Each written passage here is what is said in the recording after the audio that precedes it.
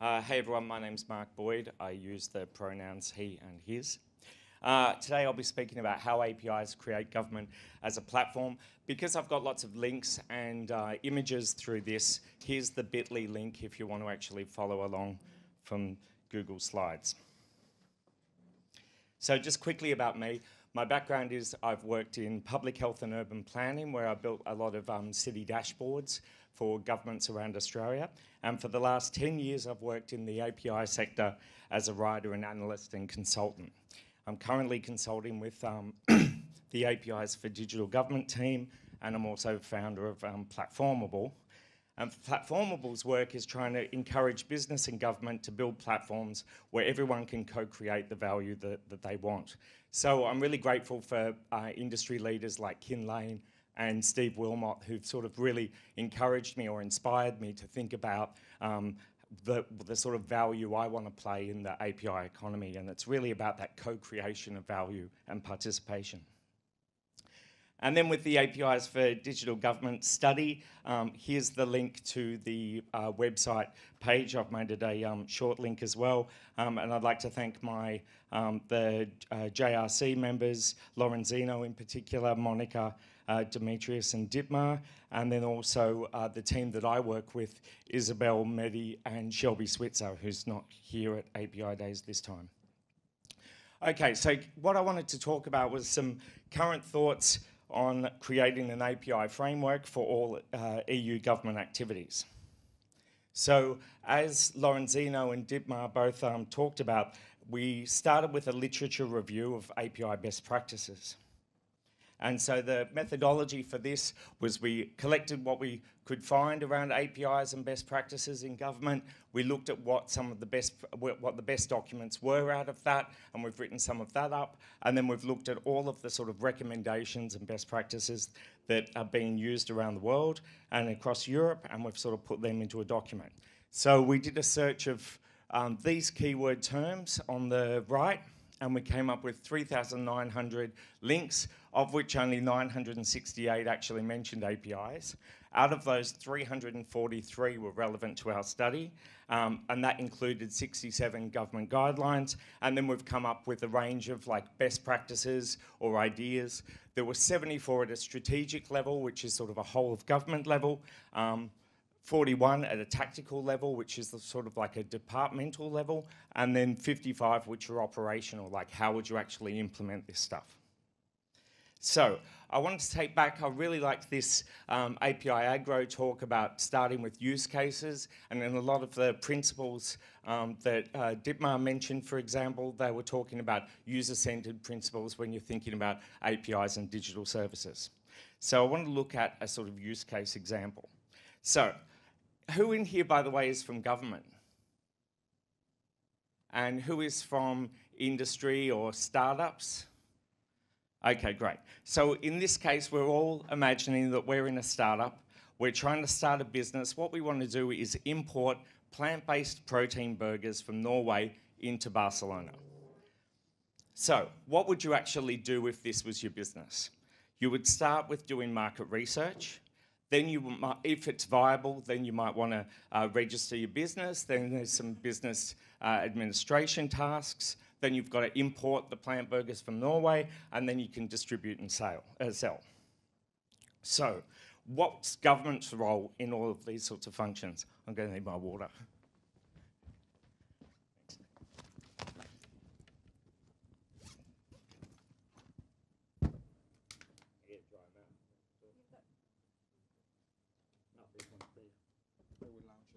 Thanks. Okay, thanks for that.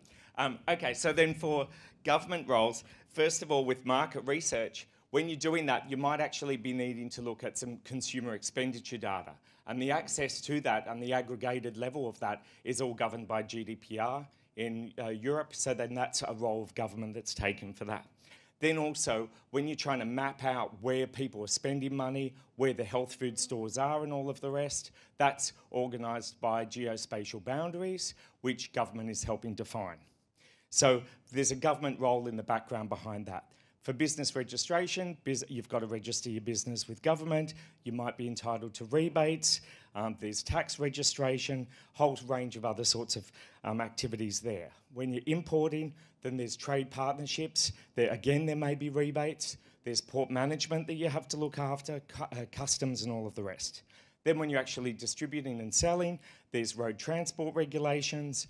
There might be some um, retail um, sales taxes that you need to collect. There's food safety inspections for something like a food product, um, and so on. So there's government roles happening all behind the background there. And normally, as we were talk, uh, as Dietmar was talking about earlier, as a business, you have to go to each government department, often replicating the sort of information that you're registering and, uh, and like um, involving individually each department who has no history of your uh, wider sort of use case or um, business idea. So if you're doing this today, you might use something like BBVA's PayStats API, which I think um, BBVA is talking tomorrow morning, and that sort of aggregates consumer expenditure data. So you can have a look at um, how people are um, uh, spending, like what demographics people are spending on health food or on restaurants and that sort of thing, which might be useful for your market research. But as we just heard from the API agro people, when you get that data, you might need to clean it. You then need to um, transform it. So if you're using sources like the consumer expenditure, but you're also using that to plot against postcode, you might need to do some transformation to make that correct. You might then want to overlay something from, say, Yelp, where you're looking at, say, the health food outlets that are occurring in the area if you can't get that data from your open data portals. So then you might need, but they might be um, cataloguing the geospatial boundaries for um, health food stores differently to how the consumer expenditure data came in. So you need to sort of clean and transform before you can map and understand if there's any viability. So that's even just for the market research component. Then once you've proven that there is a viability, then you might need to online uh, register online for your business. You might hear from word of mouth or from going to industry events that there are rebates available because it's a um, uh, because it's in line with um, healthy food consumption goals or something like that from government. And then you need to register for taxation or get an accountant. Then for importing, you need to maybe be part of a um, Chamber of Commerce group. Um, you might need to apply for rebates. You need to sort of figure out what the port management system is like, and so on and so forth with sales and distribution. So there, you're using a combination of government sources and industry APIs and data.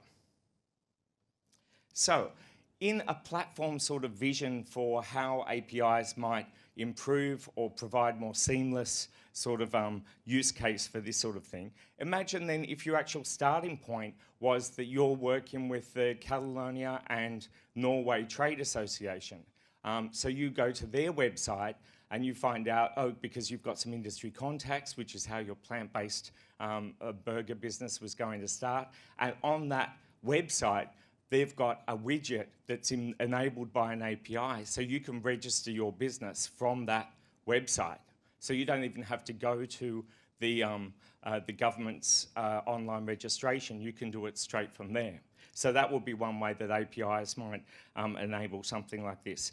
Then, um, as we heard from Dietmar around the life transition process, where by 2023 they're going to identify a number of life transitions that you'd be able to um, uh, where it's automatically going to be able to, uh, government's going to be able to inform you of things. In the same way, if you register, then maybe government could be able to tell you about your rebates that you're eligible for, rather than you going to have to search that information. Maybe they could tell you about some port partners so that you could you could share a container for um, uh, goods coming from, uh, from from Norway.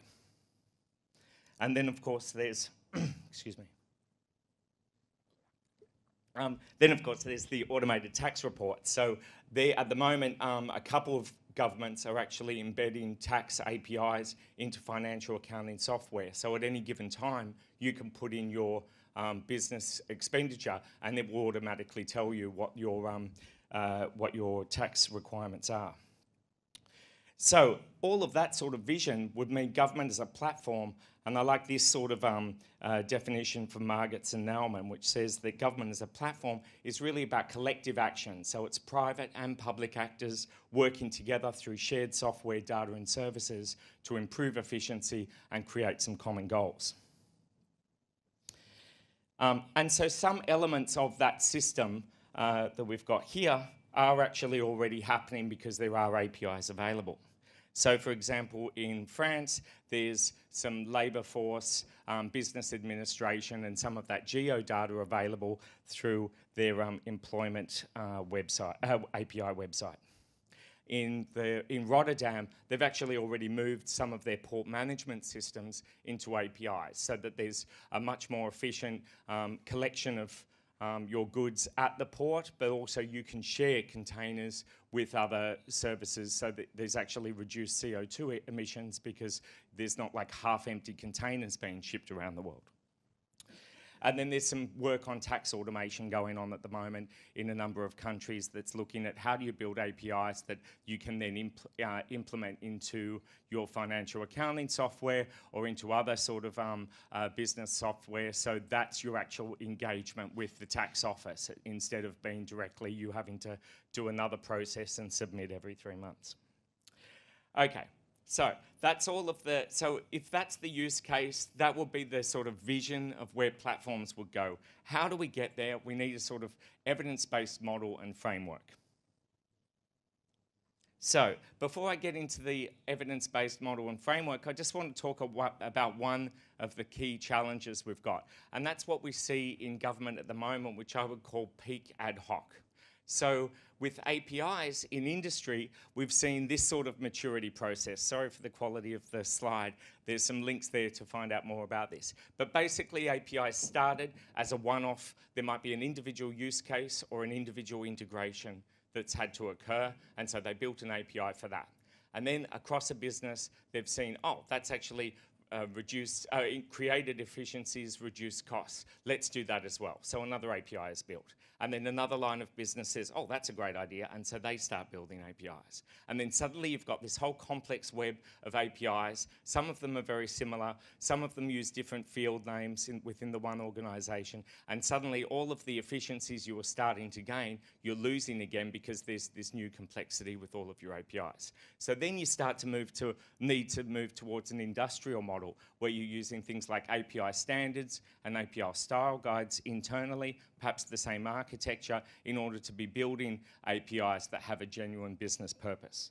And my feeling is that, um, and from reading the literature, this is the stage we're at with government APIs.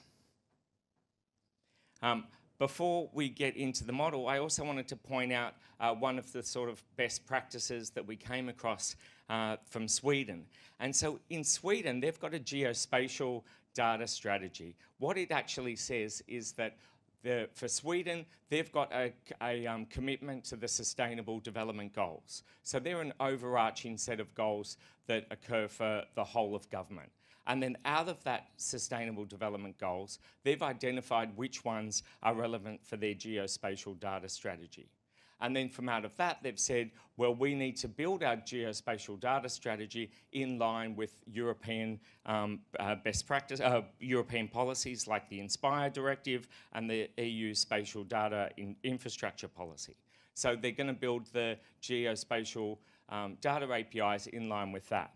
So they've uh, so they've identified that there's the, so, uh, the sustainable development goals. They've said APIs are the best way to achieve those goals. We're going to do those APIs in the format that's prescribed or, or um, uh, encouraged by the, um, uh, by the EU policies, and then we'll be able to create maps and create some standards, and that will have benefits.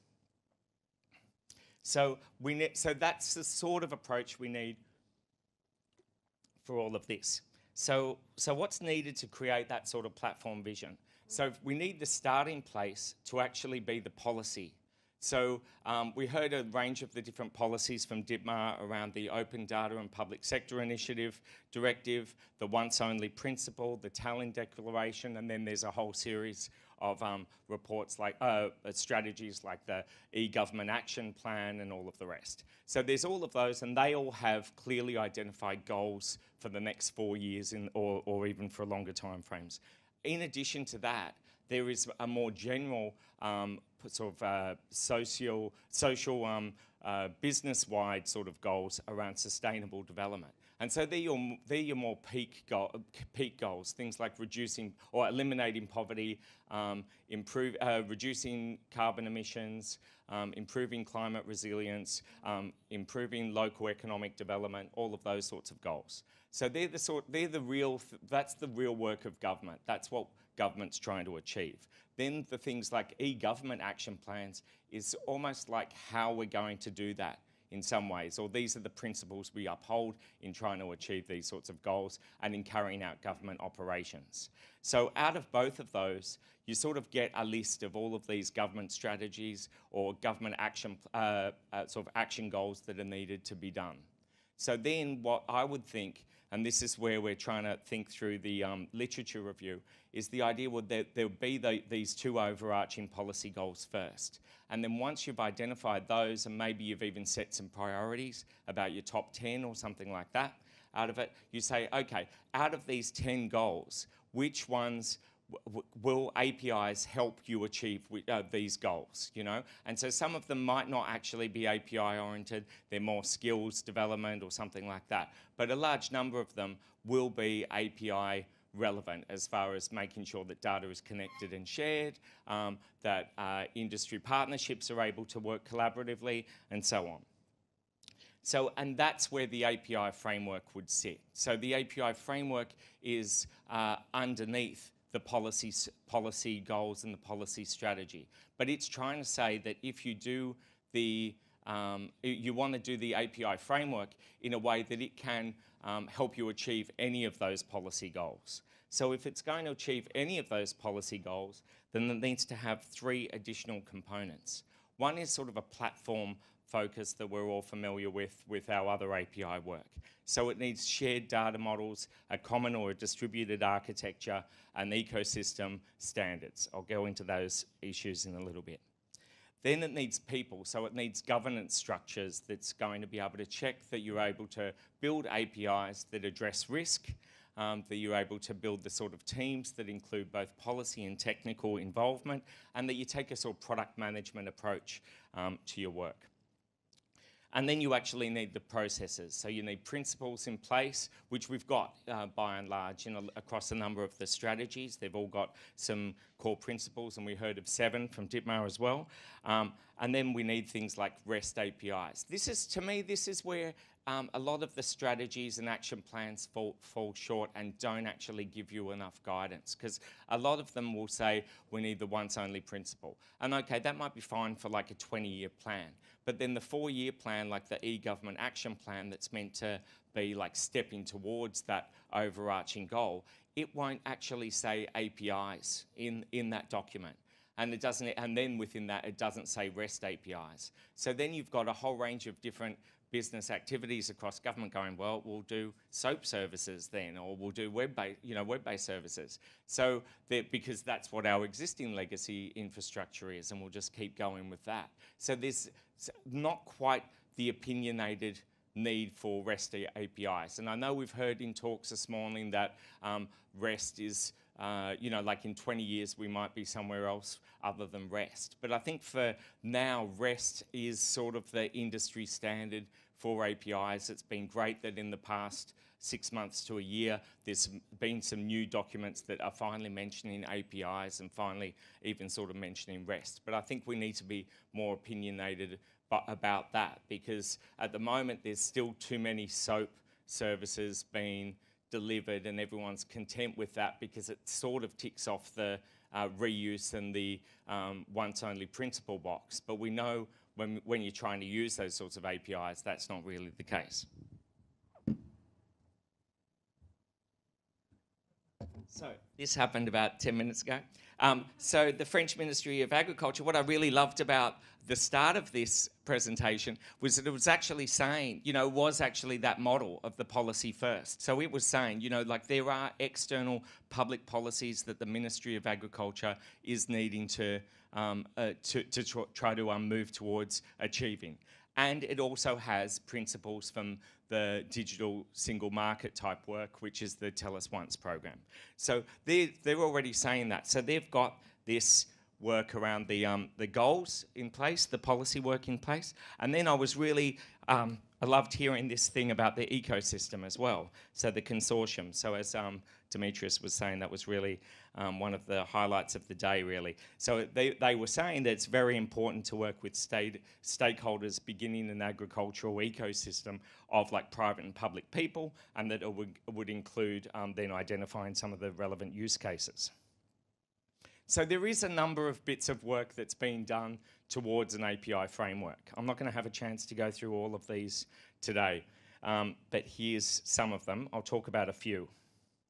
Um, so there is the prioritised ecosystems. We heard from um, French agricultural um, uh, departments. I won't go into that again. There's shared capabilities. So, um, as so in when you're going to any government department, quite often you need to um, share your identity to verify your identity before you can register for the business. Then you need to go to the tax um, website and register there and verify your identity there as well. So in Singapore, they've actually built an API for identity verification that's now used by 17 government departments and then externally by banks um, when they're wanting to offer loans or set up new accounts and all of the rest. So there is sort of, so now you only just do this one, um, once you've put in your paperwork and proved your identity and you get your code, you can use any of the government websites because they're all linked by the API in Denmark, there's this study here, and it's saying that um, when people in Denmark have tried to use multiple websites, which are based on SOAP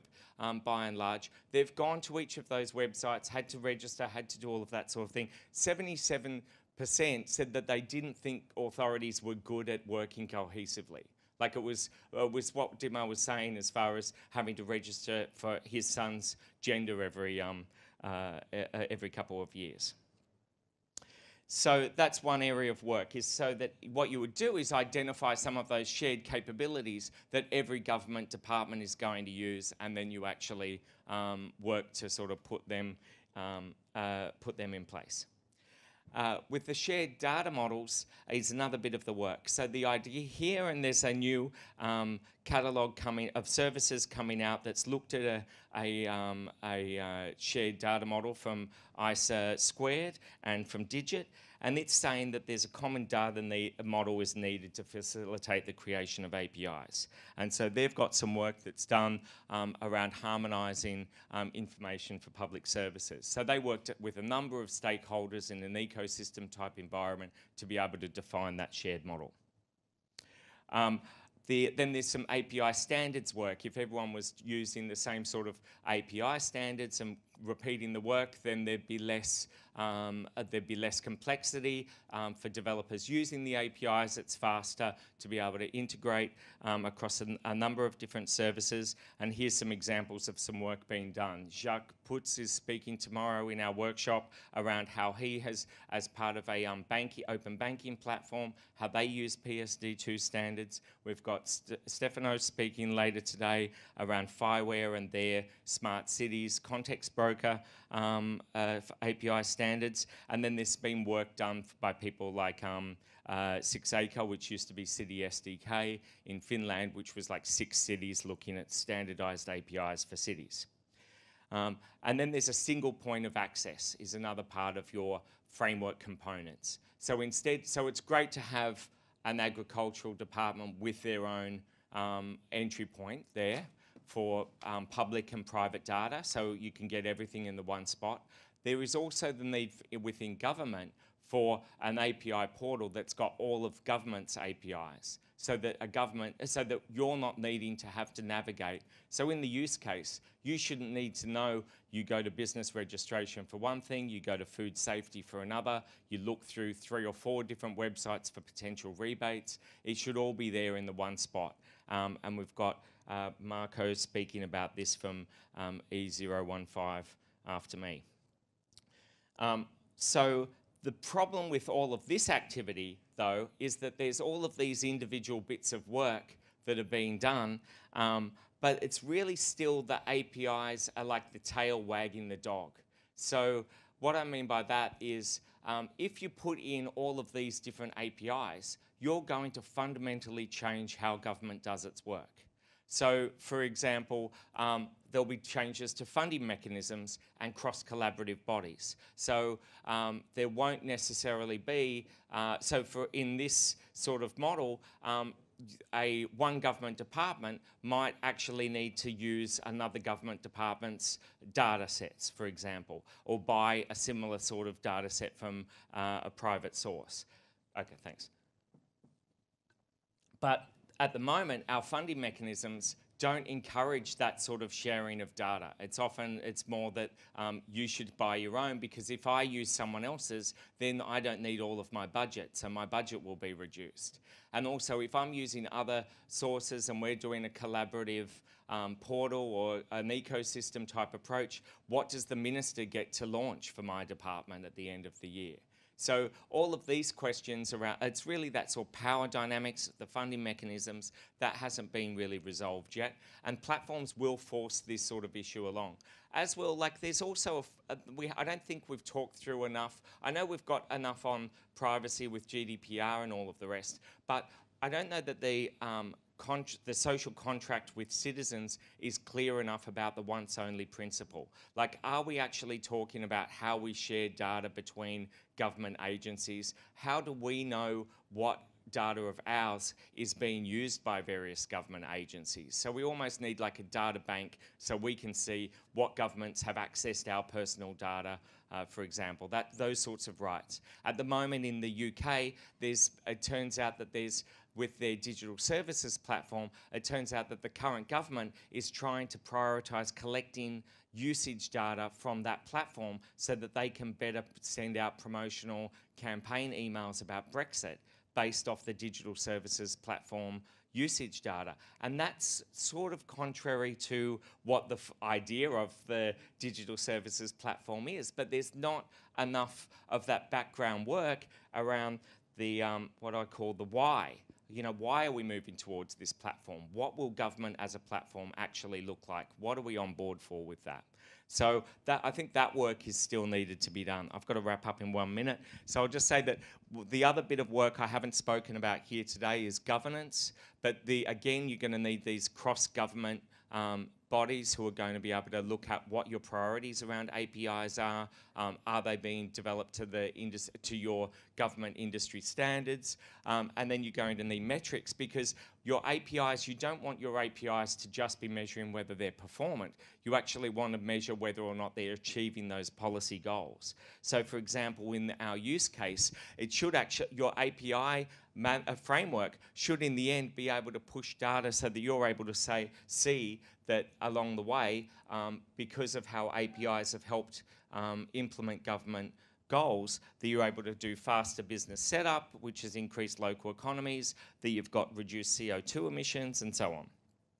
Um, there's a range of things that you can do that Two I'd point out would be participate in the workshop tomorrow, and there is a current study on the digital economy, so you can actually um, look that up on the European Union website and comment on um, your APIs, uh, what APIs you need and how you want to be involved.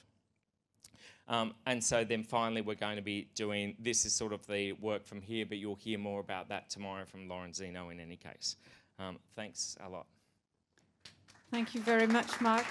That was really cool. Uh, we don't have time for a question, but anyway, if someone has a question, let's take the time for a quick one. No? Yes? It's just a quick one. Um, my name is Adriana. The question is related to data ownership. Some, some of the key uh, things like you know we, we understand the government owns a lot of like social political data Yep. that that technically should be shared. But at the same time, if I acquire data, like you know, and mix with that data, what happened? Uh, so you acquire private data. So, uh, so then there should be like data cust- so there should be data custodians for um, high value public data sets within government. When you then take that data and you're adding your own to it, you own that. If there is, uh, you know, hopefully under this sort of API framework, if there was value that you were then creating, and if it wasn't um, being commercially inconfident or uh, revealing any private information, you might want to share that back with your ecosystem. You know, but that will be sort of your decision, sort of thing, I guess. Would be how I'd see it. But yeah.